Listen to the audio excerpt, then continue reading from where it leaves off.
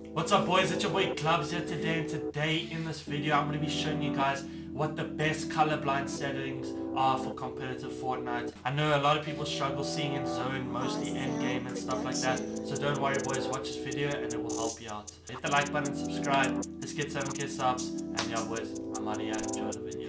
Okay boys, so as we see zone coming in now, I just want to show you what my settings are quickly. I play 100% brightness, and then I play Tritanope 8. Reason for this is because Tritanope 10 is a bit too bright to see zone. As you can see, I can see it so clearly coming in there. I promise you, this colorblind setting is game changing. I mean, I've gone through all of them.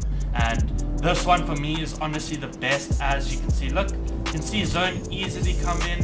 Boom, you're in zone it's just, for me, this one's the best. It's not too bright, you know, because Triton 10 is a bit too bright. But you can see zone clearly. You can see in zone, while you're in zone, very clearly. Um, this is actually unbelievable clear. It's like with no zone, literally I can see everything. Uh, look there, I'll mark something, boom.